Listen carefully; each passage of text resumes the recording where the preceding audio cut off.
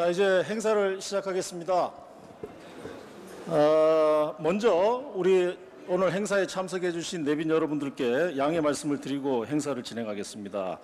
아마 여러분들이 가지고 계신 이 행사표에 보면 식순이 먼저 어, 개회를 하고 난 다음에 우리 발전위원회 발족식, 발족식을 먼저 하고 그 다음에 우리 국회의장님의 강연 순서로 지금 현재 기록이 되어 있습니다만 오늘 국회의장님의 갑작스러운 공식 일정으로 어, 이 개회 후에 바로 먼저 강연을 듣고 어, 만찬 및 발전위원회 발족식 순으로 식순을 좀 변경해서 행사를 진행하게 되었습니다. 이 점에 대해서 다시 한번 양해 말씀을 드리겠습니다.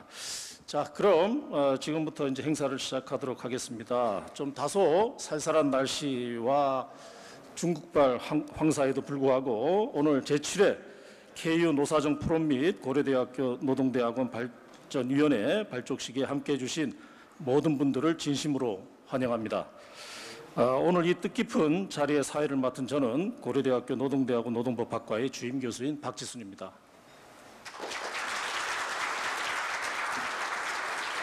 자, 지금부터 제7회 KU 노사정 포럼 및 고려대학교 노동대학원 발전위원회 발족식을 시작하겠습니다. 먼저 국민의례가 있겠습니다. 아, 모두 자리에서 일어나 정면에 있는 국기를 향해 주시기 바랍니다. 자, 국기에 대하여 경례.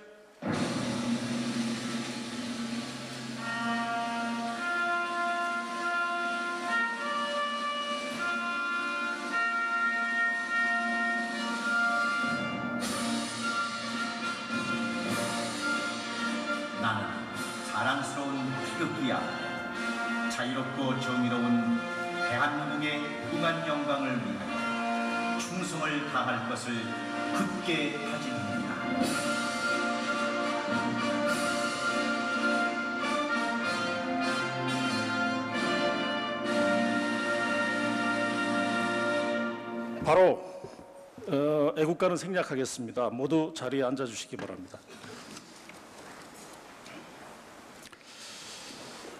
자, 다음은 제7회 KU 노사정 포럼을 진행하겠습니다.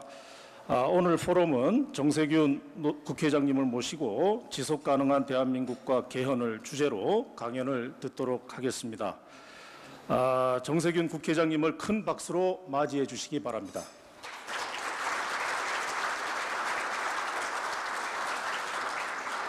우리 정 의장님은 뭐 따로 설명을 드리지 않도록 하겠습니다. 아, 예, 이리 올라가시면 됩니다. 아, 정- 우리 정 의장님의 주요 양력은 여러분들이 가지고 계신 이 행사표에 다 아, 있으니까 참고해 주시기 바라겠습니다.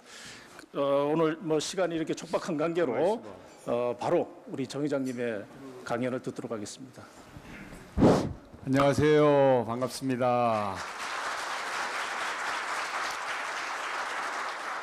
금년에는 그 춘대 불사춘이라는 말이 없이 지나가는가 했더니 역시 또 어, 자연의 섭리는 똑같은 것 같습니다. 그래서 오늘은 아, 봄 같지 않은 봄이 되어서 요새 그 국회 주변에 벚꽃이 아주 활짝 폈어요. 그래서 어제 비가 와서 벚꽃이 다 떨어지면 어떻게 할까 걱정을 많이 했는데 왜냐하면 토요일, 일요일 해서 이제 시민들이 수십만 명이 오시거든요. 아, 그 오늘 제가 오전에 출근해가지고 벚꽃이 이거 다 떨어졌나 안녕, 안녕하신가 하고 가서 봤더니 아직 안녕하시더라고요. 그러니까 혹시 주말에 특별한 일 없으신 분들은 아, 국회 오셔서 그 윤중로, 윤중로라고 그쪽에 벚꽃 구경하시면 좋을 것 같습니다. 아, 우리 대한민국은 참 역동적이죠. 어, 한번 생각해 보시면 작년, 재작년, 특히 이제 에, 지난 2년 동안 정말 그 다이나믹하게 에, 우리 대한민국이 에, 변화한 것 같습니다.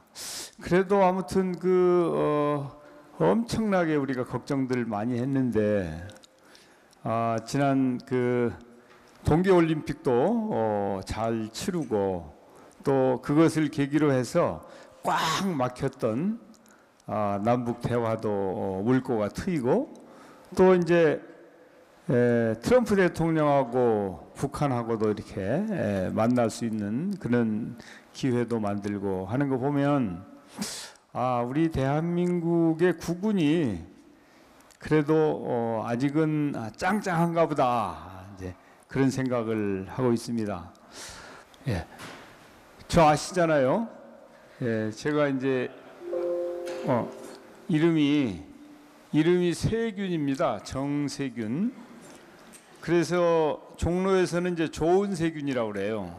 아, 다행히 정씨라서 좋은 좋은 세균이라고 그러는데 하여튼 그 뭐 다른 별명은 세균맨도 있고 뽀로로 루비하고도 지- 각각 비슷하게 생겼다고 하고 하는데 에, 제가 이 제 이름을 보시면 세상 세자 고를 균자입니다.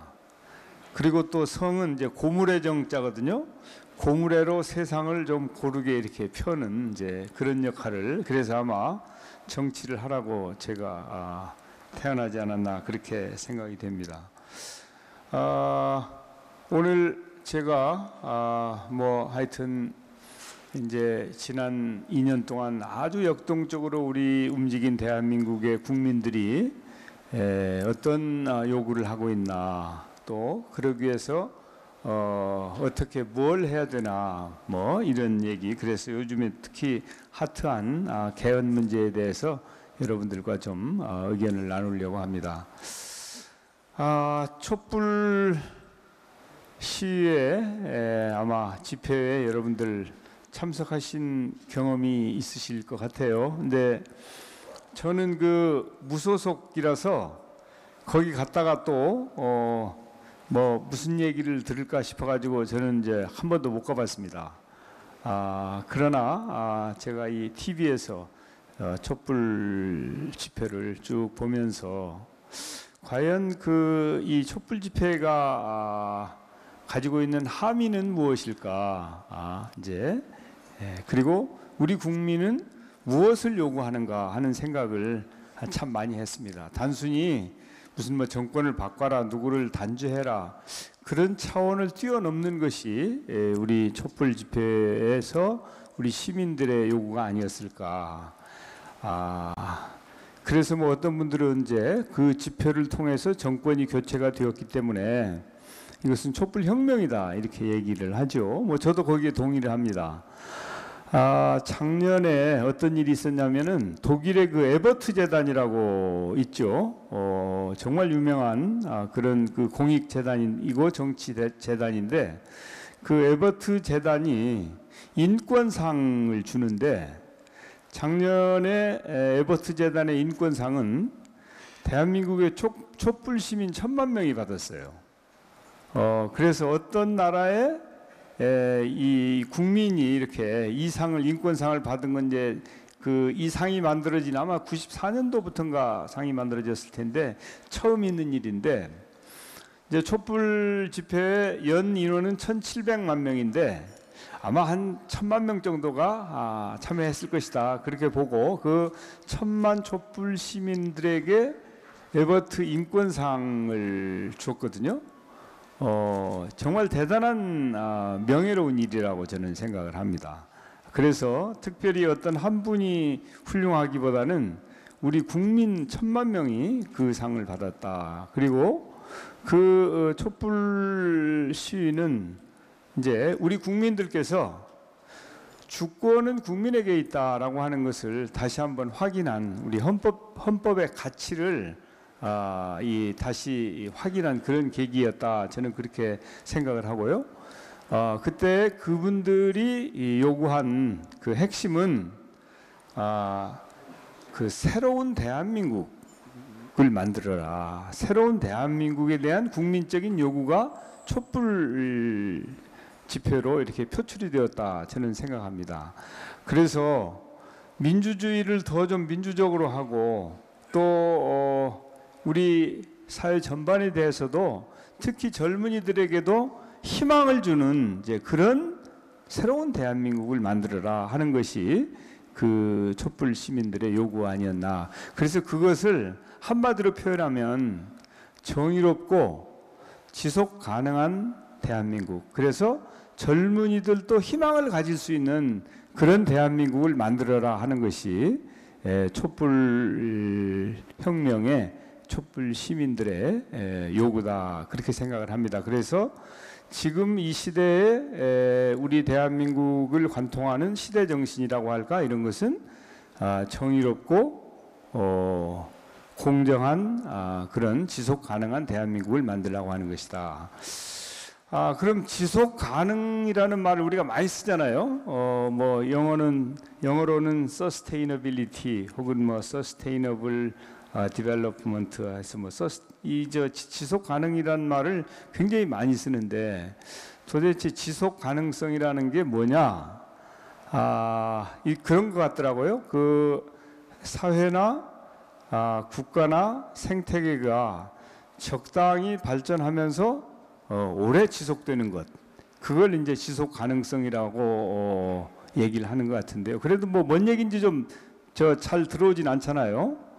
어, 그래서 그걸 이제 이 2015년도에 유엔에서 그 정상들이 만나서 합의한 내용이 그 지속 SDG라고 했었는데 그때 에, Sustainable Development Goal. 그래서 어, 지속 가능 발전 Sustainable Development에 대해서 합의를 했는데 그 정상들이 합의한 내용을 보면 아, 사회 발전과 경제 성장과 환경 보호 이 세 가지가 잘 조화를 이루면서 어, 이 세 가지를 동시에 추구하는 것이 Sustainable Development, Development다 이렇게 얘기를 했습니다. 그래서 그것은 아, 우리 사회는 발전하고 경제도 성장하는데 에, 환경도 보호한 보호돼야 된다.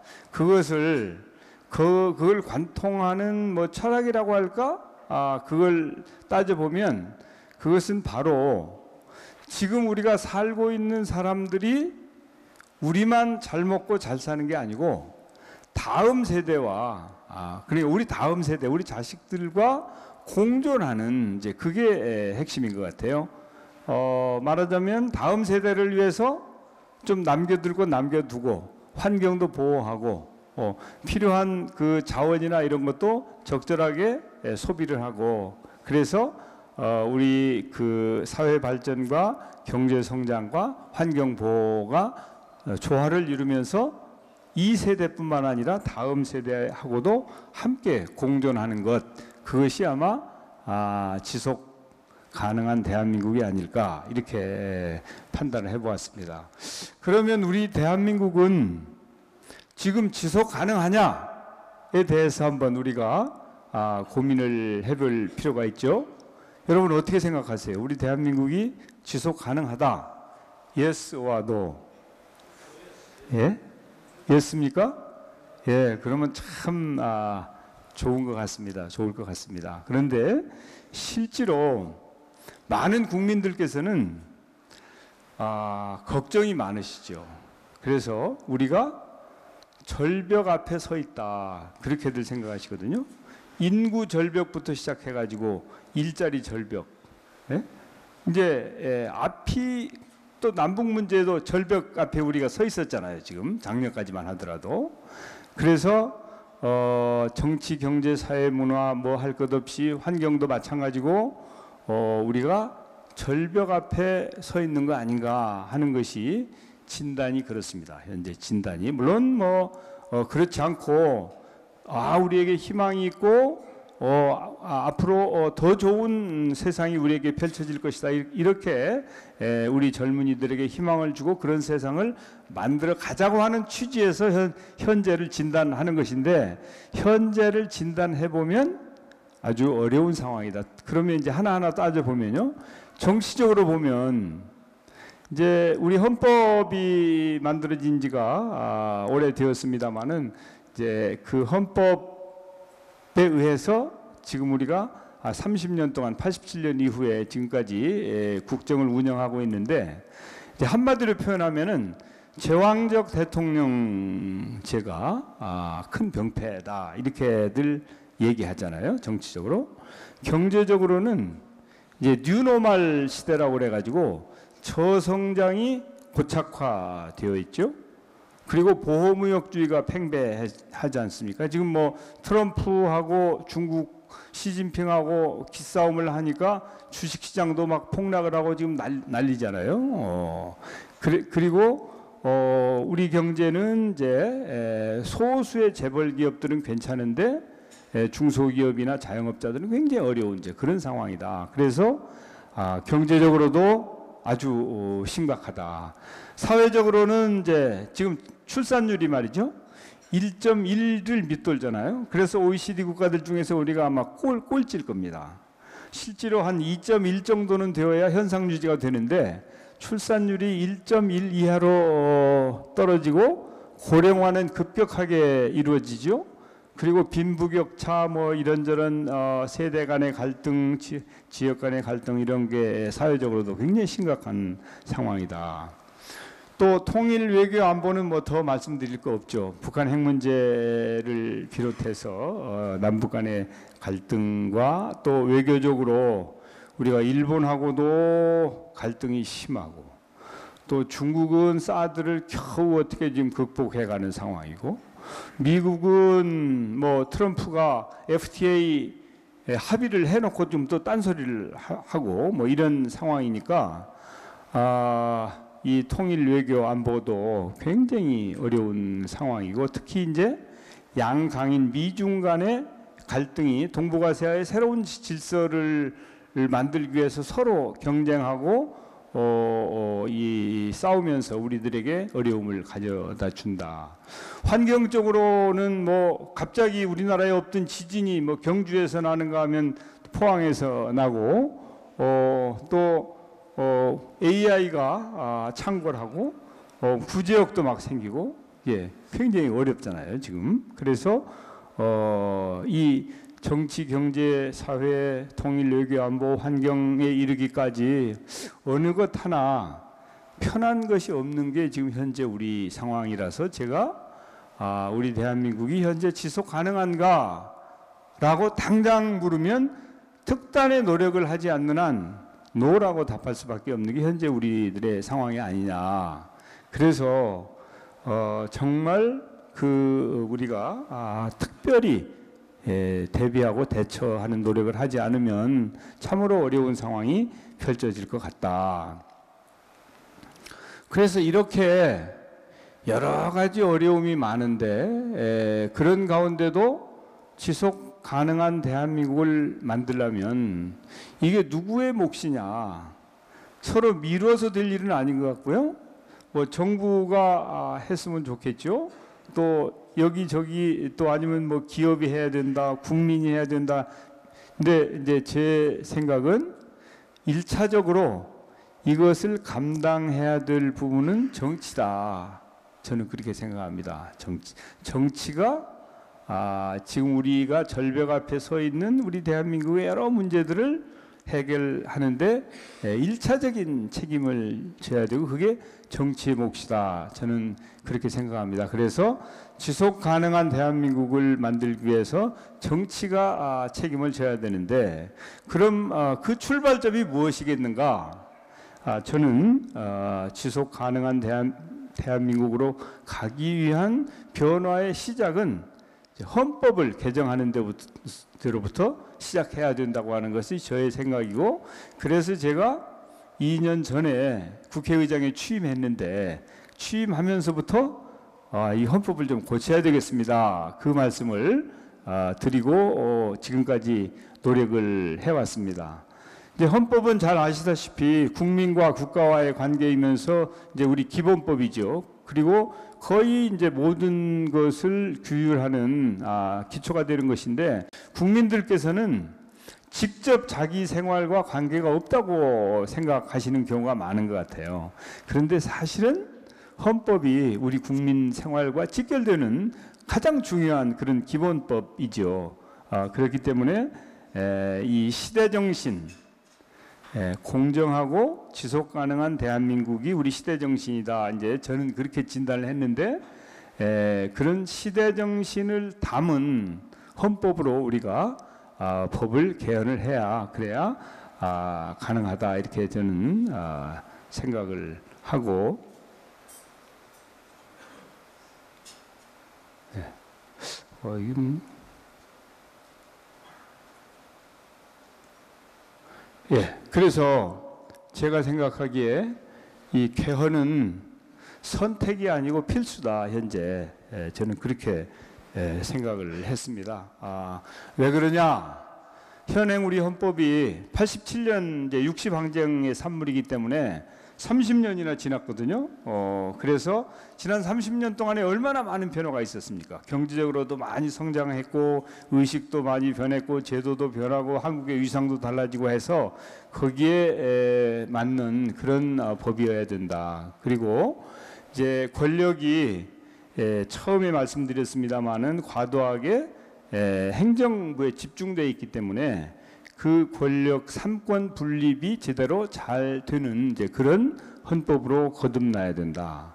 또 어, 중앙과 지방과의 권력을 보면 우리가 지금 지방자치를 실시한 지가 23년이 됐습니다. 본격적으로 실시한 것이.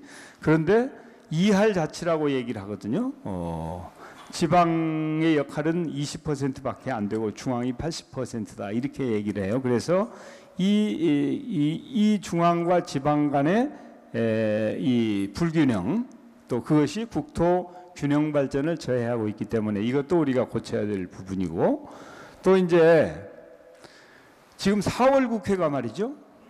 원래 4월 2일부터 임시국회가 열리게 돼 있거든요. 그리고 다 합의를 했어요. 그런데 아직 국회가 안 돌아가요. 오늘까지도. 제가 또 월요일 날도 원내대표들 모아서 다 얘기하고 또 오늘도 안 돼서 수석 부대표들 모아서 얘기하고 그랬는데 이게 안 돌아가요. 그러니까 국민들이 보시면 참 얼마나 답답하실까. 지금 뭐 어, 정부에서는 이제 청년 실업 문제나 이런 것 때문에 추경을 해야 된다. 아 그리고 또 4월 27일은 우리 남북 정상회담을 하죠. 어, 또 기업들은 어렵다고 난리죠. 어, 특히 이제 에, 이 무역 관 외국 수- 출입과 관련해 가지고 미국의 압력 때문에 굉장히 어렵단 말이죠. 그러니까 이런 때 국회가 가려운 데도 좀 긁어주고 국민들 뜻을 대, 대신해야 되는데 이게 잘 안 된단 말이죠. 그게 왜 그러냐? 이제 제가 보기에는 여러 가지 이유가 있을 수 있지만 우리 정치는 이제 5년마다 누가 정권을 잡느냐에 따라서 정권을 잡는 측이 그냥 100% 권- 권한을 행사하는 거예요. 그러니까 권력의 분점이 안 되고 독점이 되니까 이제 에, 정권 이 대통령 선거가 끝나고 나면 좀 과장하면 그 다음 날부터 다음 정권을 위한 투쟁이 시작되는 거예요. 그게 왜냐하면 서로 나누고 이런 게 안 되고 독식을 하니까. 그래서 이 제왕적 권력을 독점하기 위해서 무한 경쟁을 하는 게 이제 우리 정치 현실이어서 이걸 완화하려면 이걸 완화하려면 아, 권력이 독점이 되어서는 안 되고 분권이 돼야 된다. 분권, 분산이 돼야 된다. 이제 그래서 어, 이 지속 가능한 대한민국으로 가기 위해서는 개헌을 하지 않으면 안 된다. 이제 그런 주장을 제가 하고 있는 것이죠. 그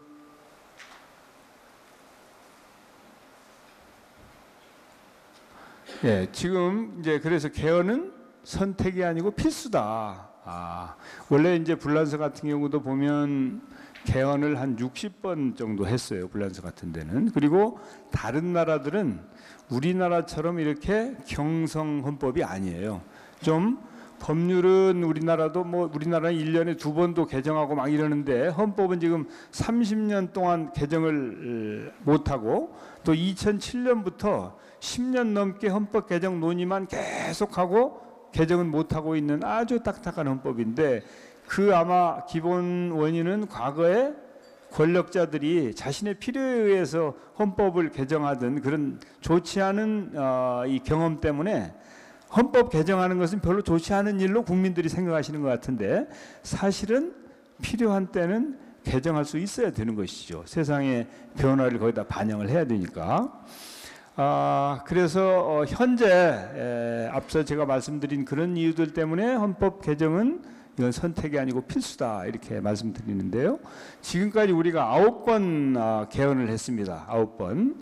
어, 그 과정에서 쭉 보면 대부분이 권력자들의 필요에 의해서 뭐 삼선 개헌이라든지 사사오입 개헌이라든지 뭐 발췌 개헌이라든지 뭐 여러 가지 그 하여튼 좋지 않은 기억들이 유신도 있잖아요. 우리 있, 있지 않습니까? 유신헌법도. 아, 그런데 4.19 혁명 이후에 3차 개헌을 하고 또 60항쟁 이후에 9차 개헌을 했을 때만 국민들의 뜻을 받들어서 개헌을 했지 다른 개헌들은 대부분의 개헌이 권력자의 필요에 의해서 개헌을 했기 때문에 국민들이 개헌이 별로 어, 좋지 않은 것으로 이렇게 생각하시는 것 같아요. 그렇지만 이제 그런 고정관념으로부터 벗어나야 될 때가 되었다. 아 그래서 이제 저는 그런 아, 아, 말씀을 드렸죠. 그럼 어, 어떻게 할 것이냐? 제가 개헌의 뭐 3대 원칙이라고 해서 뭐제 원칙이니까 뭐 그건 이제 받아들이는 사람에서 다 다릅니다만은 첫째는 이제 국민에 의한 국민을 위한 국민의 개헌이 되어야 되겠다. 그것은 아까 제가 말씀드린 권력자들이 자, 자신의 필요에 의해서 하던 개헌하고는 다른 개헌이어야 되겠다. 두 번째는 그 미래 지향적인 개헌이어야 되겠다. 그래서 거기에는 시대 정신, 아까 말씀드린 지속 가능한 그리고 정의롭고 공정한 대한민국을 반영하는 그런 미래 지향적인 개헌이 되어야 되겠다. 그리고 열린 개헌이 되어야 되겠다.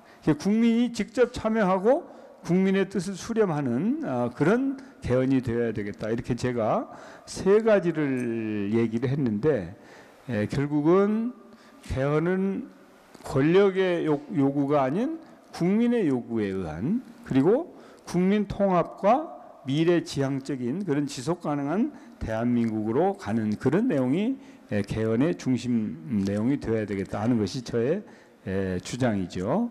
그래서 어 이제 예, 제가 재작년에 국회의장이 되었는데 개헌 주장을 하고 어 작년 어 1월부터 개헌 특별위원회라는 걸 국회에 만들고 또 자문위원회도 만들고 그래가지고 작년에 열심히 그 노력을 했는데 국회 합의안을 못 만들었어요. 그래서 다시 또 금년에 에, 이 개헌과 정치 개혁 정치 개혁은 주로 선거구제 개편입니다.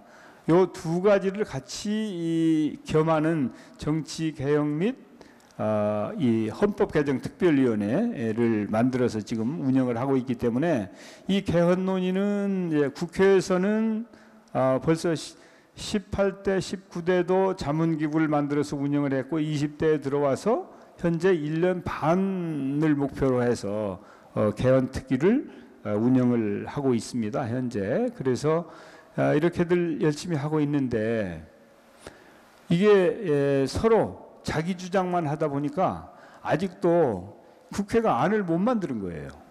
그런데 작년 아, 대통령 선거가 있었잖아요. 그때 모든 후보들이 빨리 개헌안을 만들어서 어, 금년도 6월 6월 13일이 지방선거가 있습니다. 그때 국민투표에 붙이자 모든 사람들이 그렇게 얘기를 해놓고 이제 타협을 제대로 안 하고 그러다 보니까 시험 볼 때는 됐는데 준비가 안돼 이제 그런 상황이 되었어요. 그러니까 이제 어떤 상황이 생겼냐?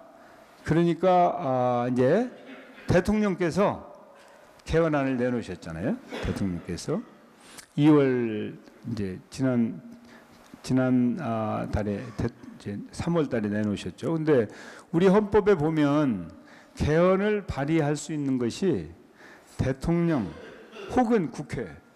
근데 대통령은 혼자 내놓을 수 있어요. 근데 국회의원들은 150명이 합의를 해야 그걸 내놓을 수 있어요. 그게 대통령이 세죠. 예? 입법부인 국회가 반절이 합의 안 하면 못 내놓는데 대통령 혼자 내놓을 수 있거든. 예? 행정부인데 수반인데도 그러니까 우리나라 대통령이 무지 센 거예요. 아무튼 이제 그건 그러나 이제 이번의 경우에는 국회가 헌법 개정 특위도, 특위를 만들어서 15개월 동안이나 운영을 해왔는데 안을 못 내놓으니까 대통령이 내놓으신 거죠.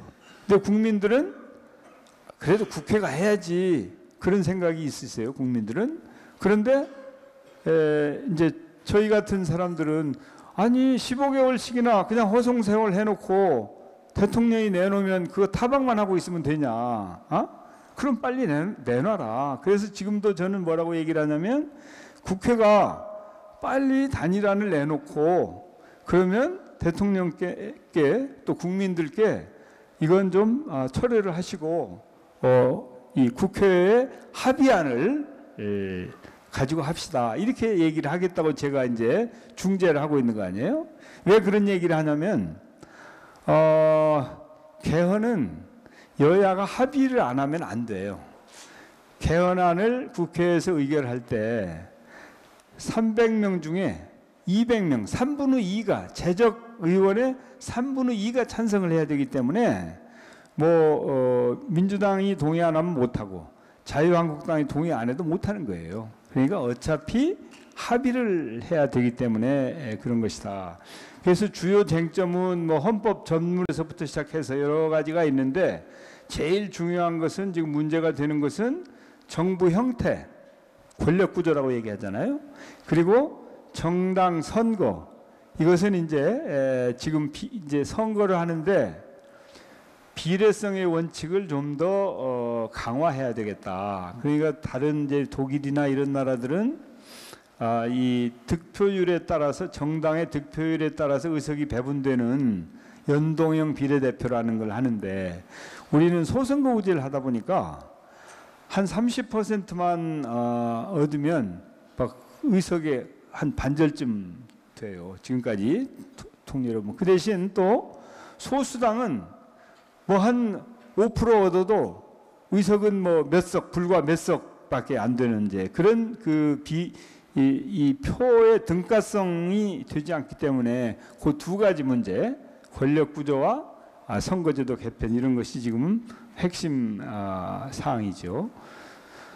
어, 그래서 이제 아까 제가 말씀드린 그 어, 국회가 아, 15개월 동안 특위를 운영하면서도 안을 만들지 못했기 때문에 대통령께서 어, 발의를 하셨습니다. 아마 그 발의한 내용에 대해서는 여러분들께서 어, 세 번에 걸쳐서 어, 브리핑을 했고 언론이 상세하게 보도를 해서 어, 잘 아실 거라고 생각이 되는데 주로 국회 개헌특위 자문위원회에서 만든 내용을 아, 근간으로 해서 어, 이 대통령의 예, 자문 기구에서 조금 수정을 해가지고 그래가지고 제안을 하신 내용이에요. 그래서 사실은 한 90% 정도는 국회가 연구한 내용과 대통령이 제안하신 내용이 비슷해요.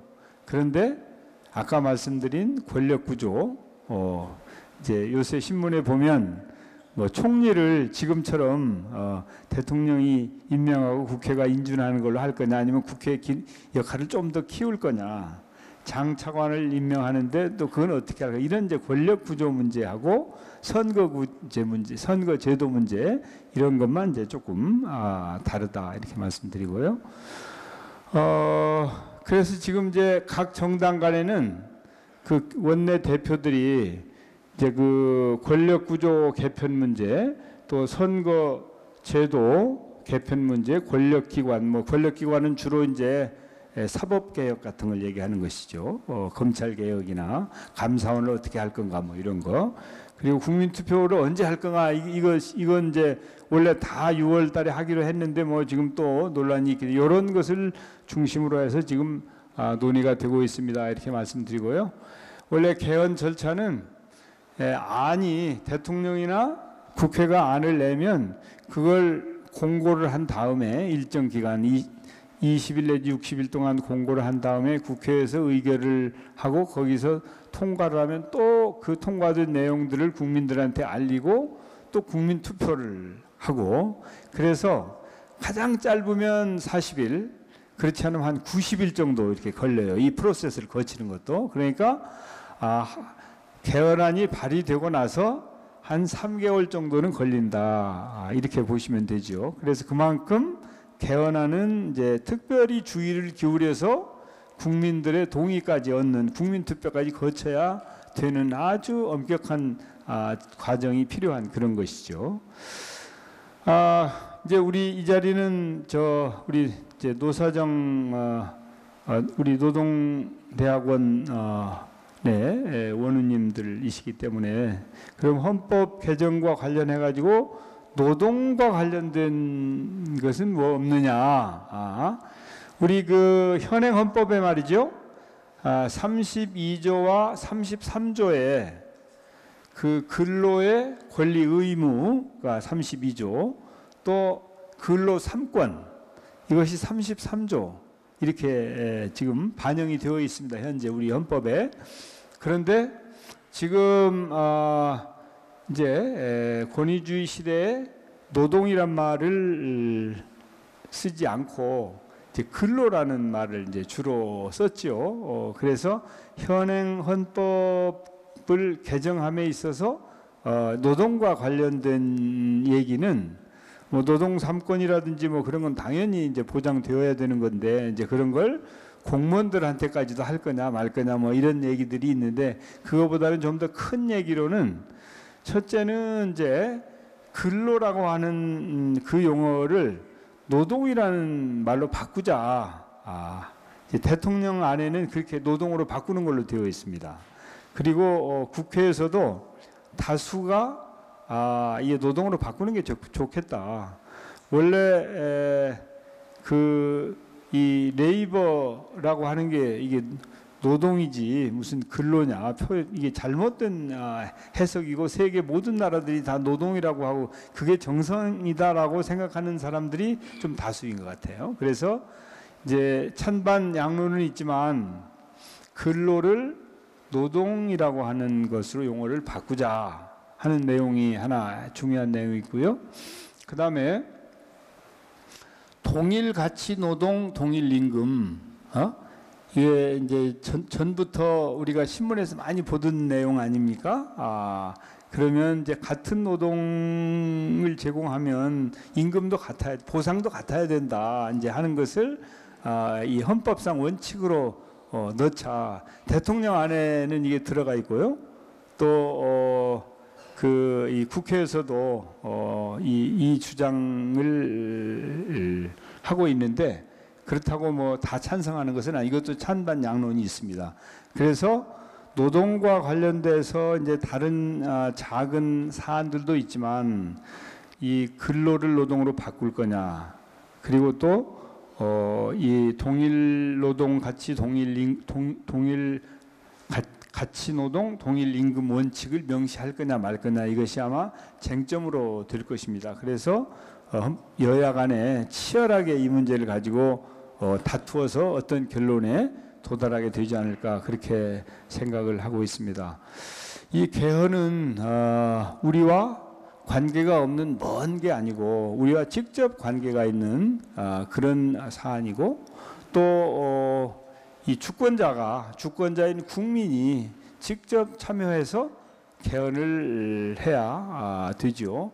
그리고 그리- 그리고 어, 과거처럼 어, 지금은 이제 누, 그 그런 시대는 아, 지났다고 보죠. 옛날에 독재자들이 무슨 뭐 삼선 개헌하고 유신헌법 만들고 그런 데하고는 완전히 다르죠. 그래서 그럴 우려는 이제 지금은 없는 시대가 아, 되었지만 하여튼 국민들이 적극 참여하고 국민들이 함께하는 그런 개헌이 되어야 아, 되지 않겠는가 그렇게 생각을 하고 이번에는 이제 그런 노력을 많이 하고 있는 것이죠. 옛날에는 뭐 이제 이 적당히 그 몇 사람이 만들어 가지고 이렇게 했고 심지어는 에, 4.19 혁명 이후에 에, 우리가 아, 이 내각제 개헌을 할 때도 그냥 국회에서 기초의원들 몇 분이 만들었어요.